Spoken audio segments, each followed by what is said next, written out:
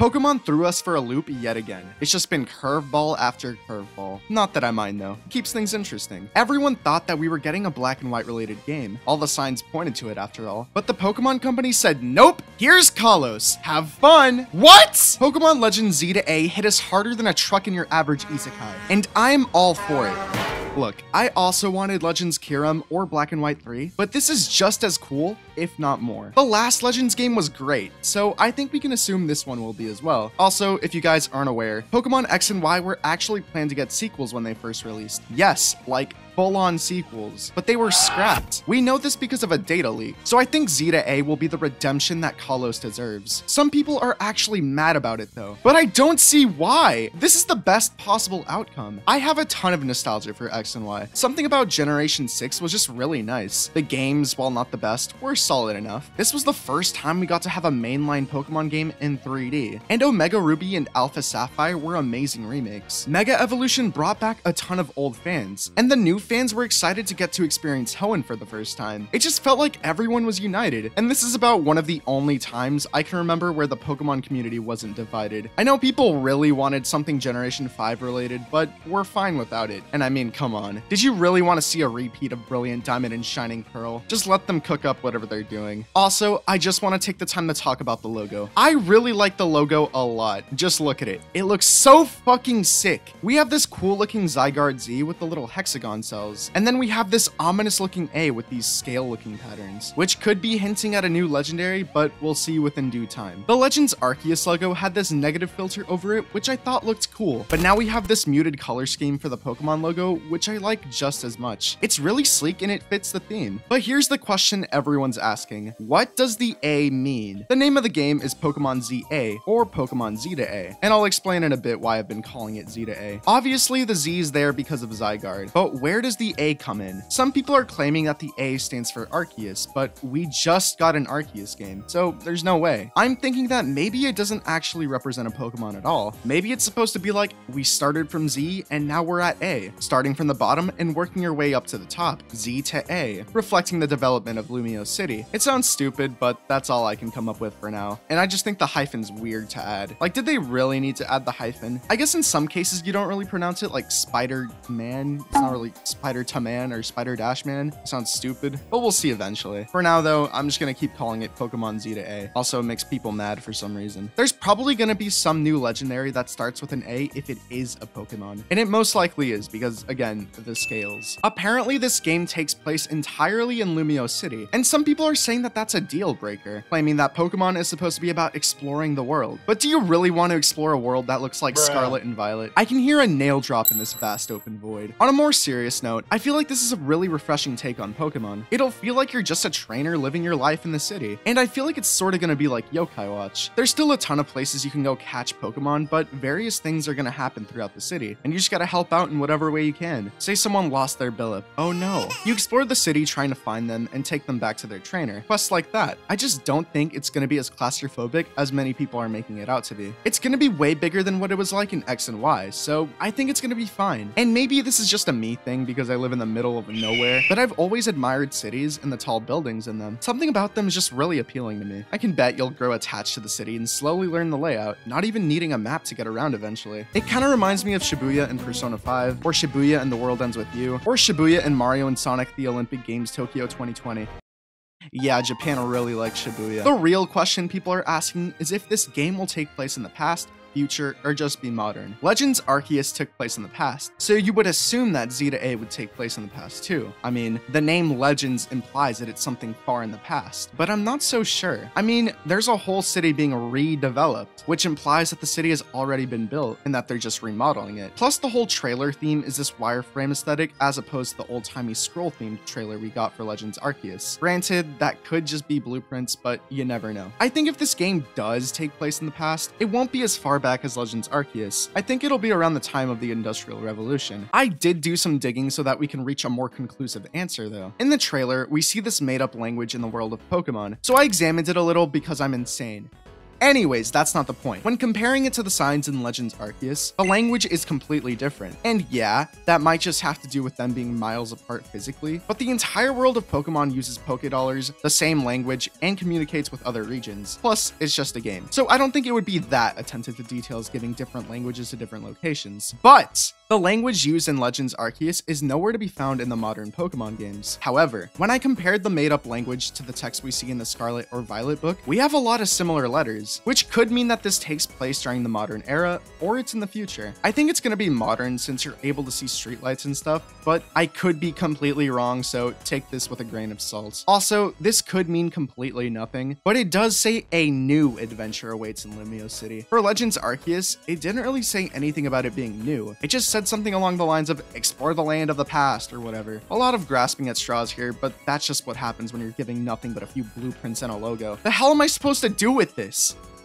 Oh, it's upside down. They also show a piece of adhesive tape. And I don't know when tape was invented, but I don't think we'd see that during the Legends Arceus era. The music choice also just doesn't seem that old-timey, but we'll see when we get more information. The game is apparently going to focus on humans and Pokemon coexisting in the city together, and I've always really liked that idea. Pokemon and humans living alongside each other and helping out in whatever way they can helps world building so much. Say you have an ice cream shop. You have an ice-type Pokemon helping you out, making sure that it stays cold. Or say you have a flower shop, and you have cute cute little grass types tending to the plants every now and then. It really makes the Pokemon world feel more alive and fleshed out. However, if this game does take place in the past somehow, that not only means we will get to see a bit of Kalos' history, but we potentially might get to see the Lumiose City Ghost Girl. All the pieces are there after all. Lumiose City, Ghost, past, make it happen. But you guys are probably more interested in AZ and the ultimate weapon. And guys, as much as I want to see that too, we're not going to see it. That was over 3,000 years ago. Legends Arceus didn't even go back that far. And look at how developed the city is. Again, they have street lights. We might get more info about it, but as far as a war goes or AZ, it's not happening. Plus, if there was a war going on, I don't think we'd stay the whole game in Lumiose City. It just wouldn't work. I'm sorry. At the end of the trailer, we get the reveal that Mega Evolutions are coming back. Oh my god, this is what we've been waiting for. Who doesn't love Mega Evolutions? So what if it's a gimmick? It was cool! Not like Dynamaxing. I think it was probably fulfilling someone's sick fetish. It was always really cool to see what's essentially a fourth stage evolution, or seeing a Pokemon that's pretty much irrelevant receive a Mega Evolution. What I'm hoping for is Mega Flygon or Mega Dragonite. Flygon was supposed to receive one in Omega Ruby and Alpha Sapphire, but they couldn't come up with a design that was cool enough, and it's been around a decade now, so they better have settled on a design by now. And I want one for Dragonite because I feel like the Mega Snow name would be really funny. Dragonite, I, I mean, come on, they have to. And I know people are sick and tired of Charizard receiving treatment, but like, it's one of their main mascots, guys. He's iconic. I feel like a Mega Charizard Z would look really cool. I'm not exactly sure what it would even look like. Maybe it's an Ice Dragon, I don't know, but I'm sure they'll figure something out. Same with Mega Mewtwo Z. I've always liked Mega Mewtwo Y more than X. X just seems kind of weird to me, so I think they can do something cool. Also, side note, I, for the life of me, can't find where I got this information, but I'll just mention it and someone in the comments can correct me if I'm wrong. But weren't Mega Stones man-made just using the energy from the ultimate weapon? Because like, if they were around for thousands of years, Mewtwo shouldn't have a Mega Stone, and the fact that there is a Mega Mewtwo Stone implies that these can be man-made. So if they are man-made, I think that adds more credibility to this game taking place in the present or future, but again, I could be completely wrong. The Kalos starters kinda got robbed of Mega Evolutions because the Kanto trio got them instead, and since Mega Evolution was introduced in Kalos, you would think the Kalos starters would be next in line, but nope. Generation 3 came and stole the spotlight, so maybe now we could get some Kalos Megas. Yeah, Greninja has Battle Bond, which lets him become Ash Greninja, but does that really count? No, it doesn't. I'm kind of worried though, because in the last Legends game, the starters were completely different, so they're probably going to do the same thing again, which means that there's a chance that the Kalos starters are going to get their spotlight stolen yet again. Or, best case scenario, both sets can receive a Mega Evolution. And speaking of the starters, who are we going to be receiving? It's fair to assume that the Kanto and Hoenn starter trios aren't going to be starters since they already got Mega Evolutions, and Rowlet, Cyndaquil, and Oshawott got their time in Legends Arceus, so that only leaves us with a handful of starters. I've seen great arguments for Snivy, Piplup, and Scorbunny, since Serperior is royalty, Empoleon was based on Napoleon, who was French, and Scorbunny because soccer is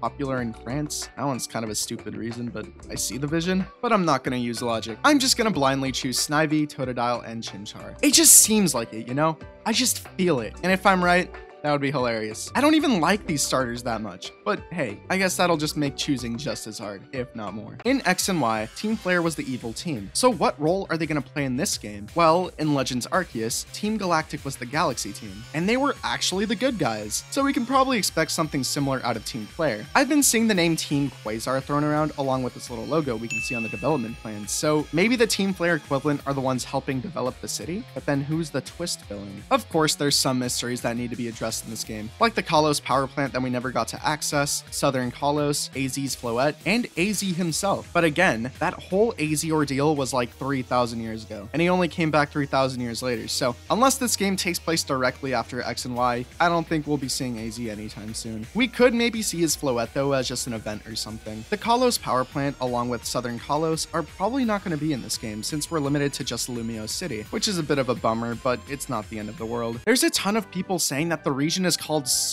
Soyu or something like that, but either you guys are kidding or you just didn't pay attention. The Pokemon Present starts with a bunch of Unown misspelling Pokemon Presents, and Pikachu is like, guys, what the hell, we rehearsed this. So later in the trailer, they mess up again. Instead of spelling CU, they spelled Soyu. It's nothing more than a joke. There's even a little question mark at the end. They're trying their best, okay? Some people are genuinely convinced that this is the new region name though, but I can assure you, it's most likely just Kalos. And if it's not, it sure as hell isn't With the return of Zygarde, of course means that we're going to be collecting Zygarde cells again. Oh boy. It's probably going to be similar to the little wispy spirit things in Legends Arceus, or they could just make it part of the progression in some way. Like you defeat a boss and you get like, I don't know, 10. And then you can upgrade the city. Kind of like Clash of Clans, I don't know. I'm really excited to see what this game will be about exactly. There's so much that we don't know, which makes it all the more interesting. Just what could they be hiding from us? The fact that they didn't release a Pokemon game last year or this year is making me hope that they've been spending their time making this game. People really didn't like the yearly releases of Pokemon games since that left them unpolished, so I'm hoping that with this extra time they're receiving, they'll yield better results. This is most likely going to be the last Pokemon game for the Nintendo Switch, so I'm hoping they end off on a banger. People loved Legends Arceus, so I'm really happy that they've taken the feedback and decided to give us a new Legends title. And I'm just really happy that they're trying something new for Pokemon. I love innovation. It just makes me happy that they're stepping out of their comfort zone to do something we've never seen before. That's how